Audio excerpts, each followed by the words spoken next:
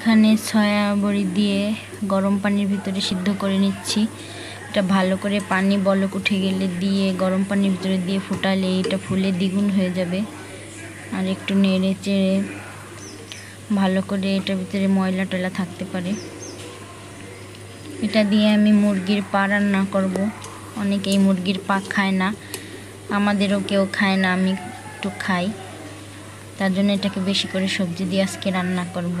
এটাকে নামিয়ে এখন আমি প্যান দিয়ে মরিচ দিব একটু পরে। পেঁয়াজটা ভালো করে লাল হয়ে গেলে মরিচের গুঁড়ো, হলুদের গুঁড়ো, একটু রসুন আদা দিয়ে এটাকে ভালো করে নেড়ে চেড়ে নিব কিছু সময় কষিয়ে। একটু পানি দিয়ে কষাবো, না হলে মশলাগুলো পুড়ে যাবে। আদা বাটা, পেঁয়াজ বাটা পেস্টও একটু দিয়ে দিব। এখানে পেঁয়াজ আর রসুন ব্লেন্ড করে রাখা আছে, জিরা। সেটা দিয়ে ভালো করে নেড়ে চেড়ে একটু পানিও দিয়ে দিব, নাহলে পুড়ে যাবে।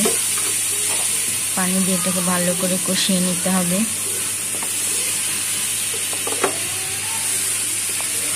মুরগির পা অনেকেই খায় না, আমাদেরও কেউ খেতেই চায় না। কিন্তু আজকে আমি একটু সবজি দিয়ে আর সয়া বড়ি দিয়ে রান্না করব। এটাকে আমি ভালো করে ধুয়ে নিব একদম কয়েকবার ধুয়ে। তারপরে পানিটা চেপে ফেলে দিয়ে রান্না করবে। এলাচ, দারচিনি, তেজপাতা দিয়ে দিলাম। এরপর এখানে মুরগির পাটা দিয়ে আমি ভালো করে কষিয়ে নেব। কষানো শেষ হয়ে গেলে আমি পানিও দিয়ে নিয়েছিলাম। সবজি টবজি দিয়ে একদম সুন্দর করে কষিয়ে নেব। রোজ কি করে একটু দেখতে যাব, বাবাটা কি করে? আজকের বাইরের ওয়েদারটা খুব সুন্দর। রোজ আখ খাচ্ছে। সে টিভি দেখে আর কিছু দিলে খায়, এর জন্য এখন একটু আগ দিছি যে একটু খাক। টিভি দেখার সময় একটু দিলে খায়। আখ খেতে চায় না, কিন্তু তারপরেও দেই। খাওয়ার দরকার আছে। সব কিছুর সঙ্গে পরিচিত থাকা ভালো। বাইরের আবহাওয়াটা খারাপ না, খুব সুন্দর। আকাশটার দিকে তাকালে বেশ ভালো লাগে।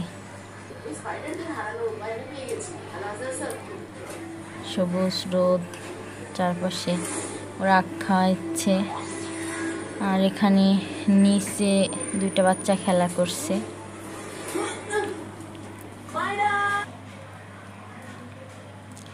আমার বেলকনিতে একটা ড্রাগন গাছও হয়েছে, আমি সেটাও দেখাবো একটু।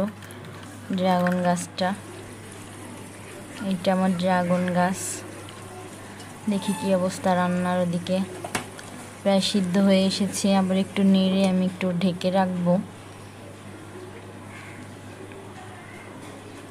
এটা একটু যাতে বেশি ভালো হয়, তার জন্য একটু ছায়াবড়ি দিছি। এবার আমি গরম মশলা গুঁড়োগুলো দিয়ে ভালো করে ঢেকে রাখব। কিছু সময় ঢেকে রাখার পরে